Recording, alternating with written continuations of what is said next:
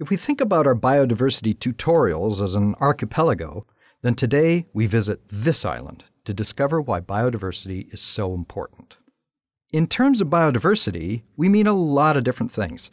In this case, we're going to talk about something that's known as species richness, because that's something that we can measure. Because counting up the number of species, going out and finding out how many species there are in a given environment, is something that we can actually do. There are different species of plants, there are many different species of animals, many different species of microbes, and many different species of fungi. And they all interact in their environment to create what we would call an ecosystem. Eco is an interesting word. It's an ancient word that means house. So it's a system of what goes on in your house, that is, where we all live. All of these different organisms are interacting. They're behaving together. They're interacting with one another. Some of them eat each other, some of them eat what others decompose into, and they, plus the physical environment, or, or the house, form the ecosystem. Why would the number of species, in other words, species richness, be crucial to the way an ecosystem functions?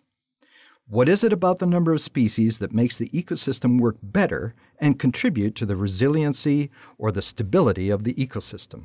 Scientists are really beginning to study this, and the emerging field is referred to as BEF Biodiversity Ecosystem Function. We can think of any ecosystem as species that network one to another. They have interactions with each other. They can be a lot of different interactions. They can live on top of one another, like certain birds nesting in trees, or even more crucially, these things might eat one another. This is a diagram, a network diagram, of, believe it or not, a relatively simple ecosystem in which the organisms are interacting one with the other. We can draw lines between the species to indicate those interactions. And we can make the lines directional to show that material or, or matter and energy are moving from one species to another. When one organism takes a bite of another, it not only gets a mouthful of matter or food, but that food contains energy. So these arrows show the direction that energy is flowing from one species to another. The most important thing about these webs is that the strength of these interactions can vary. That is, the interdependence of the organisms in the web can vary. And here's something that might be counterintuitive. These interactions become less important the more species you have within a network. You can think of it as the interactions being spread among more players. But what happens when there are fewer players? Let's say we've got a really super simple set of interactions where this owl is eating that mouse, but can also eat this squirrel. This gives the owl options. If we remove one of these, take that guy right out of there, then we only have two species that are interacting with each other. And it's really easy to disturb this system. This guy will just eat all of these guys and boom, you can cause total ecological collapse. So, the higher the biodiversity or species richness in a system or in a network, the stronger it is, the more stable it will be, because of all the additional options open to the organisms in it. Think of that old saying about putting all your eggs in one basket. Not all interactions within a given ecosystem or network are exactly the same strength because some species have stronger interactions with each other than they do with some other species. For example, let's imagine that somewhere in here you've got one of these guys, and he's eating plankton, the microscopic organisms living in the water. Plankton are going in. These guys are the producer end of things, the ones who can photosynthesize and make chemical energy from sunlight. And remember, food equals energy. So, what we're talking about is a lot of energy flowing from the producers to the consumer, represented by Mr. Whale over here. That's what these lines represent. They represent the flow of energy through the ecosystem. Eventually, the whale succumbs to life and dies, and poor Mr. Whale ends up on the sea floor. Are things over at that point?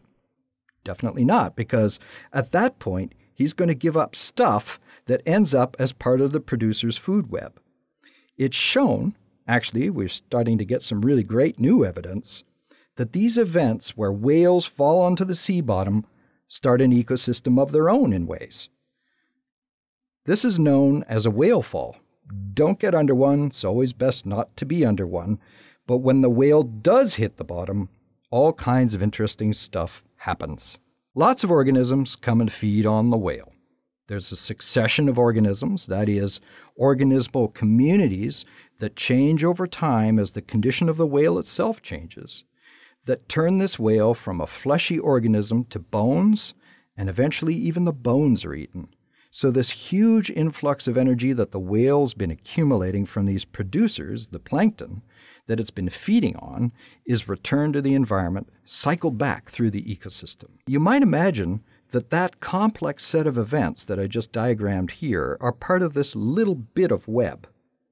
It turns out that where you get concentrated clusters of things happening in these webs, it's usually because energy is being run through the larger organisms in the system. And when you disturb a bit of that, where you've got large amounts of energy flowing through the system, you can get a real drop in ecosystem function. If you take the whales out of the equation, by overhunting them, you get this drop in ecosystem function because there's this removal of an entire major energy flow system from this network. Think of it a little bit like this tremendous thing that we have now, this, this internet. If you draw a diagram of the interactions amongst all of the servers and all of the things that push messages through the internet, there are places where that network's going to show a lot of stuff going on, a major hub in the internet. A lot of messages are flowing through. Like Google's servers, for example. Google is going to be at the center of one of these big clusters of a lot of messages going through. Other servers may not be so important. Those servers are going to be places like my desktop where I'm just messaging my kid to tell him to come home for dinner. If you take my server out of the system, it's not going to disturb the entire web.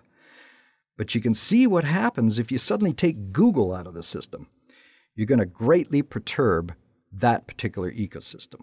So these webs of interaction throughout an ecosystem are really, really important. If the system is bigger with more species and more interactions, you're going to reduce the chance that a perturbation or a disturbance is going to have a really negative impact because you're just reducing the chance that you're going to take out something that's really crucial. The other thing about this is that all of these things are doing something different they're all doing different things in the ecosystem. So if you imagine one of my favorite things, I, I love planes. Here's a complicated plane with four engines, lots of moving parts, piston engines roaring away. You've got a rudder here, you've got ailerons. Imagine this aircraft flying along. If you take out, say, the, the curtains that are in the window, you're probably not going to bring the plane down. But if you do something like remove a couple of the crucial bolts at the base of the wing, here where it connects to the fuselage, then the wing's going to fall off and we're going to have a problem. Because before you know it, the airplane's going to crash. Same thing with the ecosystem. Everything's doing something different. Some things will matter more than others if you remove them. The more bolts, the better.